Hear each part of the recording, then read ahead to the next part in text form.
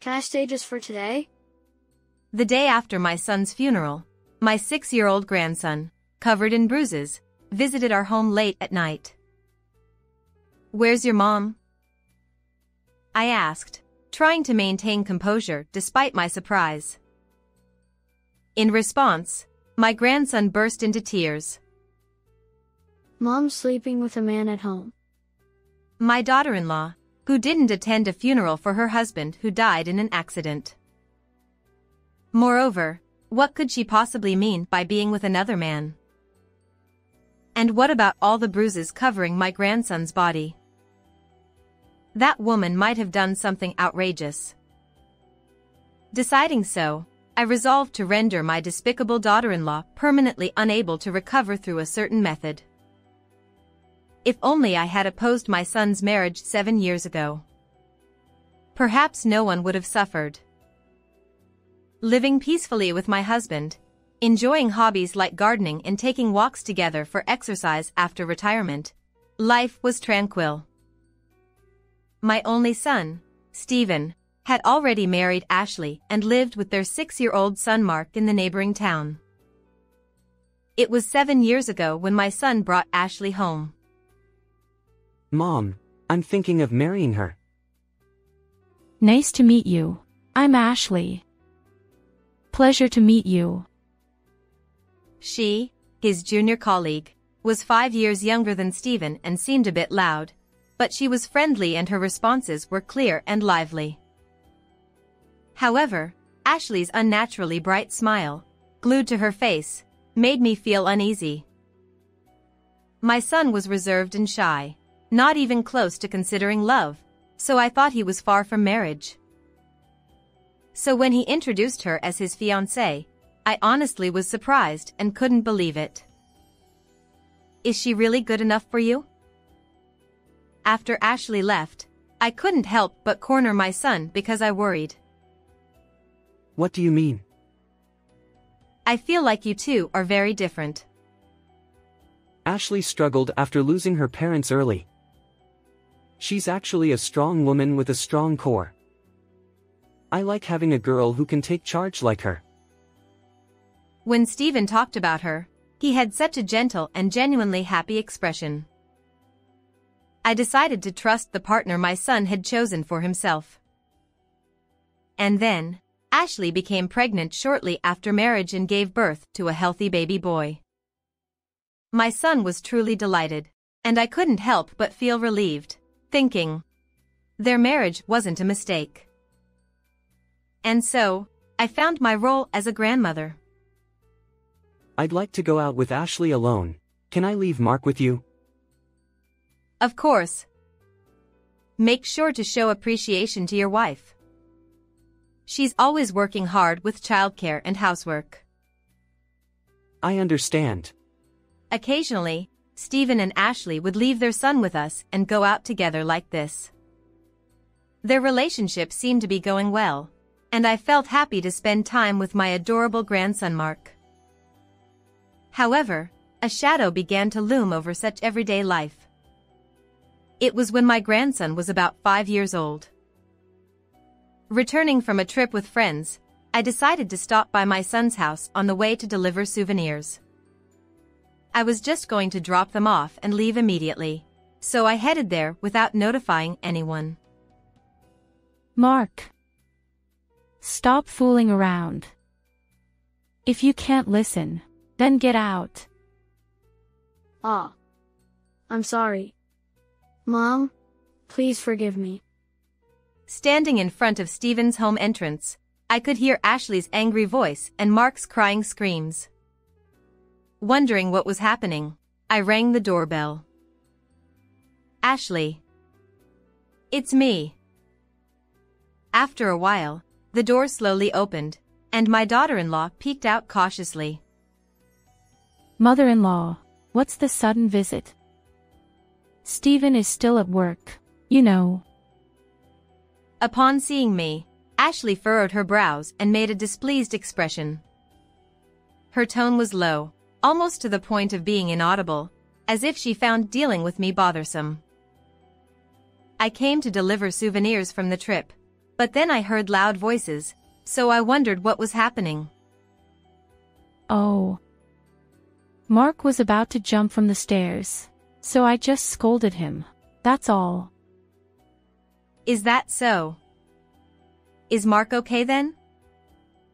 He's fine. So could you refrain from interfering? With a stern tone, Ashley said this and forcefully closed the door.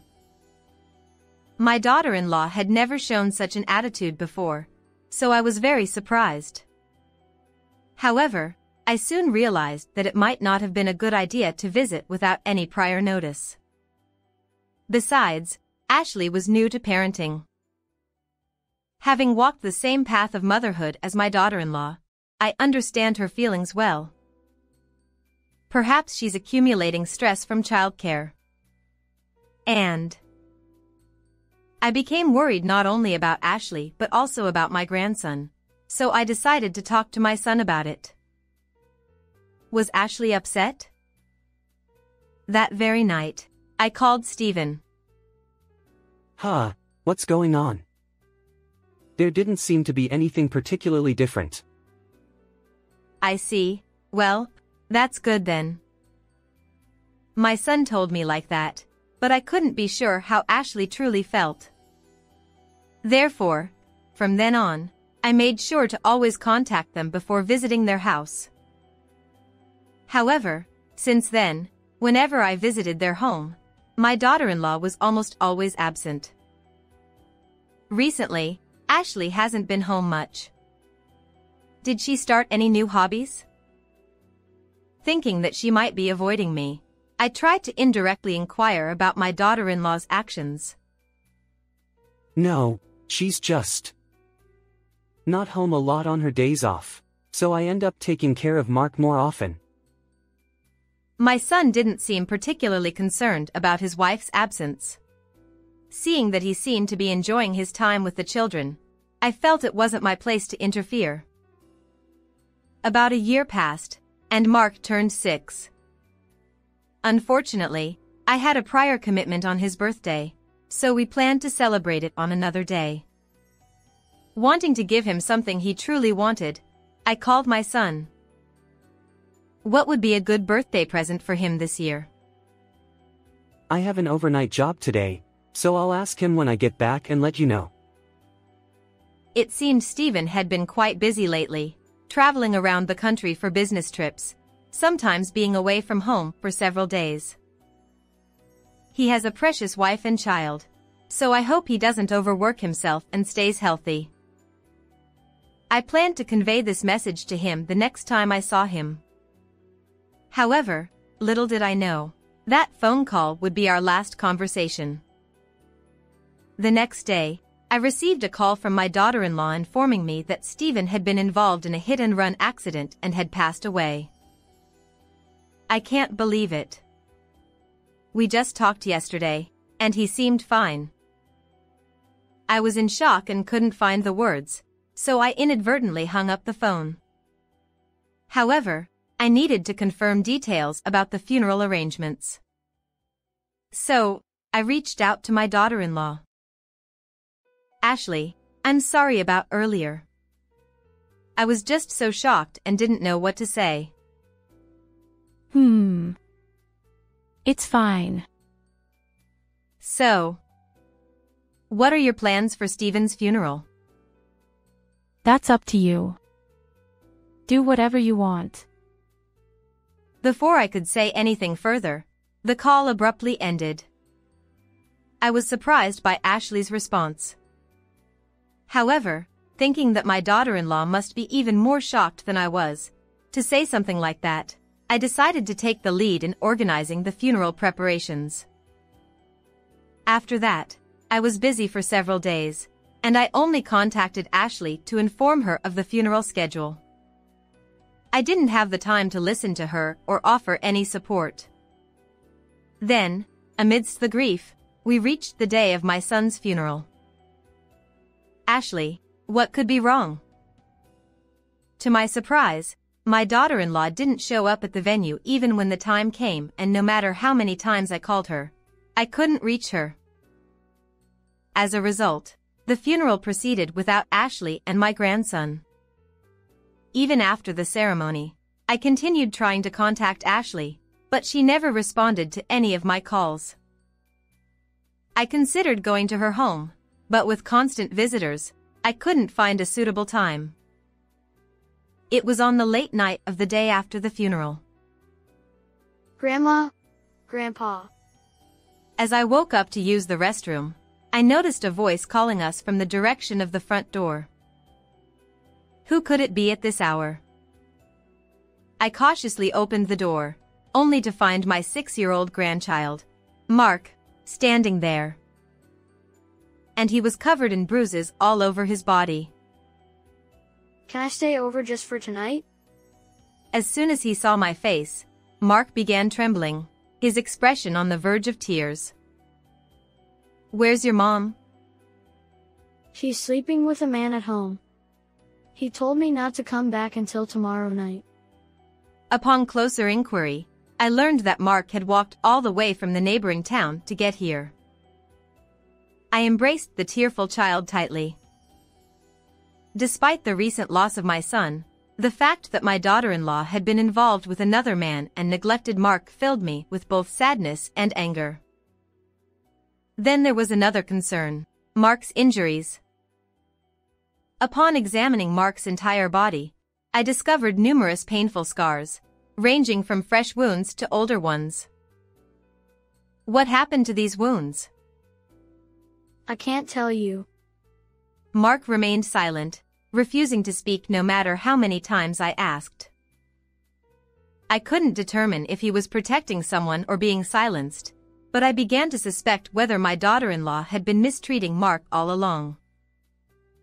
I invited my grandson into the room and offered him some hot milk. Grandma, What's wrong? Are you sleepy already? no. It's something else. If dad goes to the other world, will we get lots of money?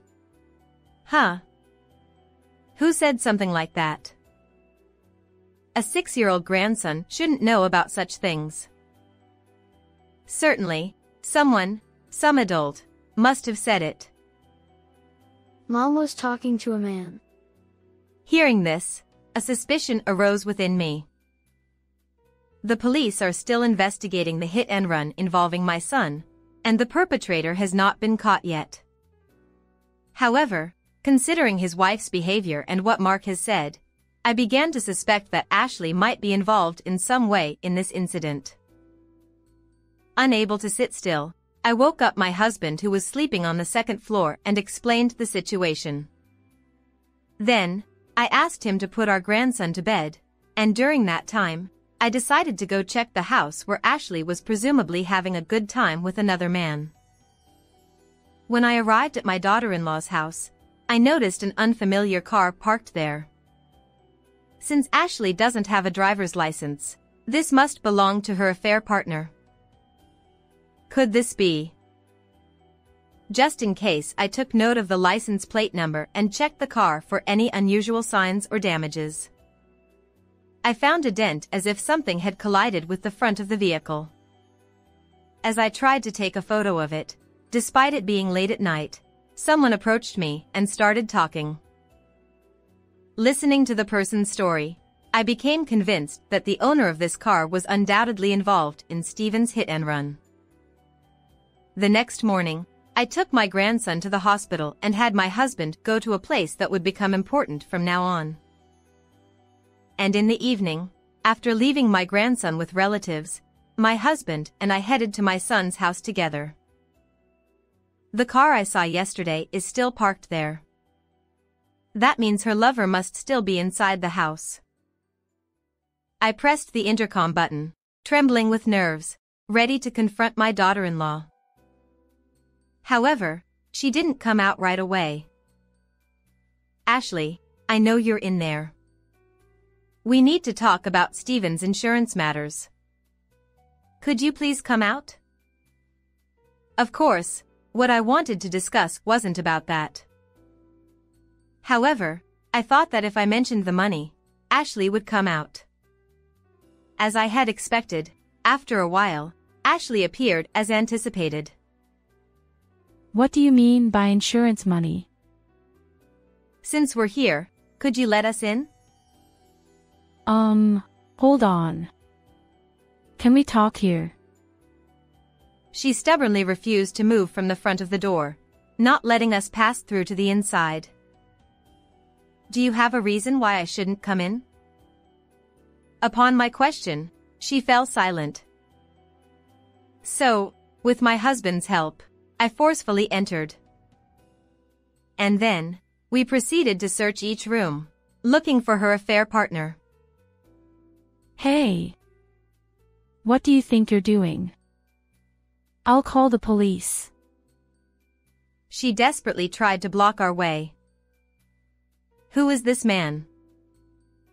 I asked as I opened the bedroom door, finding a man lying on the bed, seemingly the target of our search. Ashley replied, It doesn't matter who he is. This is not good. Didn't you attend Stephen's funeral because of this person? That's not true. Um. He's just a friend of mine who's traveling across the United States. He just arrived here and I let him rest. He seems tired, so please don't disturb him. Her excuse was clearly far-fetched, leaving me utterly incredulous. However, Ashley wore an expression of anger, as if we were the villains. Don't lie. Mark came to our house in the middle of the night, crying because his mom was sleeping with a man and wouldn't let him in. So he begged me to let him stay. You can't trust what a child says. He's your affair partner, isn't he? You left Mark to Steven all this time and frequently left the house because you were meeting this man, weren't you? If I'm suspected of cheating over something like that, I can't even take a break. She sought agreement from her affair partner as well and eventually, they both smirked and began to ridicule and laugh at us. Enjoy your time while you can. I signaled to my husband and discreetly started recording the audio before getting to the main point. The one who hit and ran Steven was your affair partner here, right? Upon hearing my words, she immediately chuckled, her body trembling slightly as she laughed. Ha. What are you talking about? Yeah, you old bitch. Accusing us without any evidence. You're out of your mind. Ashley and her lover continued to smirk and sneer at me throughout the conversation. I wouldn't say this if I didn't have evidence. There's a significant dent in the front of the car that was parked in front of the house. Just because of that, you're treating me like a criminal. It was just a minor bump. That wasn't the day my husband had the accident, was it? It was way before that. The man showed no change in expression as he confronted me, and Ashley watched the situation unfold without any reaction. But there are witnesses who saw you two trying to call a repairman to get an estimate on the day Stephen passed away. Actually, when I came to the front of this house late at night, I was approached by a young man returning from the convenience store who said he lived nearby. He was a car enthusiast and said he wanted the same car as her lover's. He mentioned that he had been interested every time he saw the car parked in front of the house. Therefore, he witnessed the lover talking to a car repairer in front of the car on the day of the accident. Additionally, he mentioned that Ashley was urging for the repairs to be done quickly. I don't remember any of that. Anyway, it's ridiculous to believe what some random neighbor said. Um. The request was for repairing a dent on the bumper. Oh, but it was refused. So the car is still here, right? Actually, the neighbor remembered the name of the shop written on the repair shop's car. So I asked my husband to go to the shop and hear the circumstances for me. They told him that her lover said the reason for the dent was a cat hitting it, but that was clearly different from what a professional would see. And the shop, feeling suspicious, refused the request. How do you explain this? Ugh. Oh, there was a report from the police about a hit and run. I got a call about it just now. But actually, no such call had come through. I decided to corner them into confessing. The car was a minivan and the license plate number was. Oh. Isn't it the same as the one parked in front of the house? That's. That must be some mistake. He tried to come up with an excuse, but his confidence from earlier had vanished. It seemed like they were gradually being cornered. Just a little more. I'll make them confess, for sure. I decided to move on to the next tactic. I can't bear to see Mark suffer any more after losing his father. And now if his mother gets caught. I sniffled, covering my face with my hands and pretending to cry. But the emotions overwhelmed me, and I couldn't help but let out a sob. Seeing that, Ashley seemed to be affected. She, appearing lost in thought, darkened her expression slightly. Actually, I had asked him to go pick up Steven. Hey. What are you saying? It's okay. Really. Ashley patted his shoulder, trying to calm him down. Perhaps the man sensed something, as he backed down easily. And then suddenly my husband jumped out in front of the car, and there was no way to avoid him. Right, David. Isn't that right? Yeah. That's what happened. The lover, seeming to suddenly go along with the story, appeared quite awkward. However, Ashley continued the conversation without paying attention to his discomfort. We got scared and ran away. The guilt was overwhelming, and we couldn't bear it. We ended up staying home, unable to even attend the funeral. Whether this was true or not, I couldn't tell. But there was no sense of remorse coming from Ashley.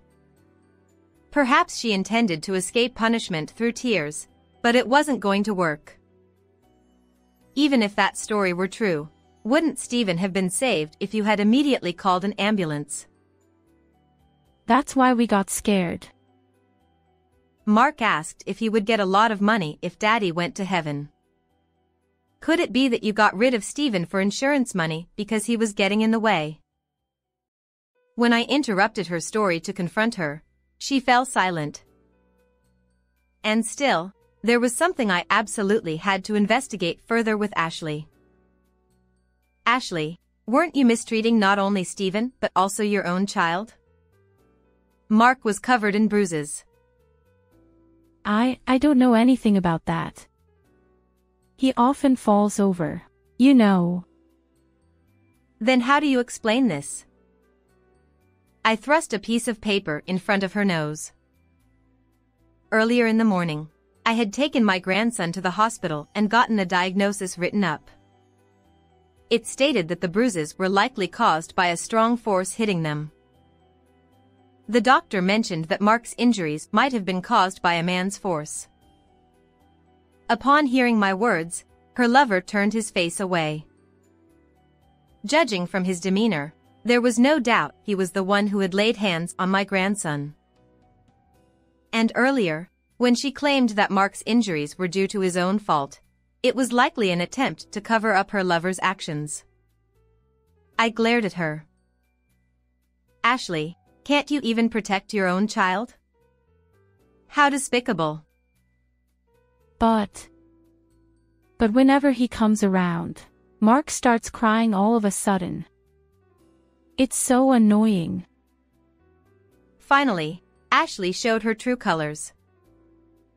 With this statement, I was convinced that her lover had harmed Mark, and Ashley had turned a blind eye to it.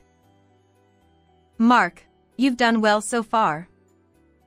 Leave the rest to me. My grandson, who had witnessed his own mother being intimate with a man other than his father, must have gone through so much pain. And Stephen, my son who went to heaven leaving behind a young child. Thinking of their feelings, flames of anger surged within me. You too will suffer. What can an old bitch like you do? With her shouted words, the room fell silent, and the only sound echoing was the ticking of the clock. However, Ashley and her lover continued to laugh heartily, seemingly still at ease. However, when I took a deep breath and began my final attack, the situation took a sudden turn. You know, it seems like you're being spread around on social media. Huh? Why? Ashley, visibly flustered, took out her smartphone and began to look up something. A male friend of my son, feeling suspicious about your absence from the funeral, contacted me. I revealed what I had known to that person. He then contacted me back, saying, his wife seems suspicious, and conducted various investigations. Afterward, Ashley's male acquaintances' checkered past and debts were revealed one after another, and other friends got involved and spread the information. Hey. It's unacceptable for you to pry into people's lives like that. Ashley seemed to have found something about herself on her phone. She looked furious at the screen, then suddenly widened her eyes. Wait. Why are my photos? Later, I received a call from my son's friend saying, Ashley's face photos are spreading on the net too. Of course, he didn't intend to go that far, but someone apparently posted the photos. Moreover, among the latest things spread, there was even a photo of her looking stern near the accident scene. It seemed like the situation was spiraling out of control. It's your fault for saying too much. What are you going to do about it? Fix this. The internet is powerful, isn't it? But, you're the one who did something bad enough to get criticized, aren't you? As I cornered her, she broke into a sweat, her face dripping like a waterfall. I'm going to inform the police about everything I've learned so far. With that, surely, the investigation will turn toward you too regarding Stephen's case, and everything will be exposed. Please don't do that. She suddenly burst into tears, her mascara running down her face, making her look pitiful and her lover also repeatedly apologized. I won't forgive you even if you do something like that.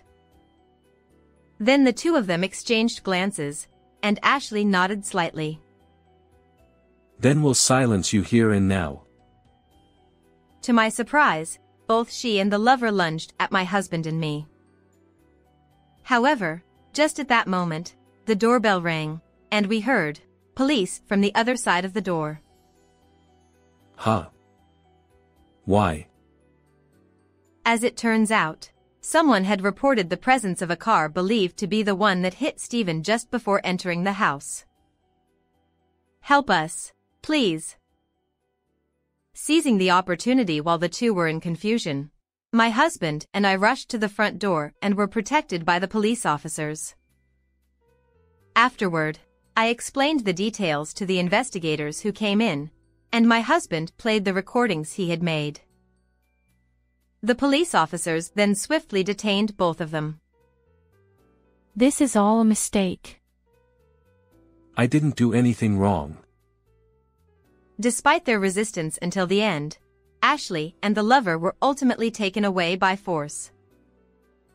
The evidence gathered later led to the arrest of my son's wife's lover for the hit and run on my son and the abuse towards my grandson. While the exact punishment is pending trial, we hope for the severest penalty, considering our son's grievance. Although my son's wife didn't directly participate, she may be charged with some form of complicity in the planning. Furthermore, for turning a blind eye to the terrible treatment of our grandson, she has lost custody rights. Additionally, facing societal backlash on social media, There is no one left to support or await her. Mark is now under our care. While living with us, he has gradually regained his spirits. We intend to continue prioritizing his happiness above all else and strive to live for his well-being.